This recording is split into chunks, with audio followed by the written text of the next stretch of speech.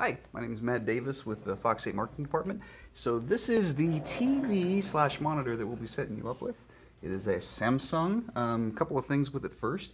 Uh, press the power on, let it do its thing. We'll be giving you this awesome USB flash device. It plugs in right back here, so you may need to work it out of its little dongle first.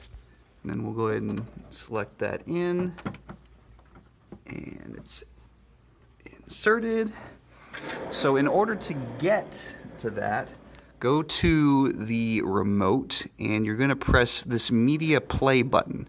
And when you press that, media play will come up. Now you're going to want videos. So to get into the videos, you're going to press the enter button.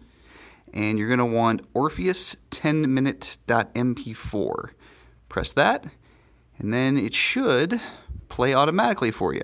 Now, another thing, if you wanted to make it loop, um, you would go to the Tools button, which is going to be this little button right here on the remote. You're going to click it, and you're just going to scroll down to Repeat Mode, Title. Press the Enter button again, and then you should be good to go. Best of luck. Let us know if you have any problems.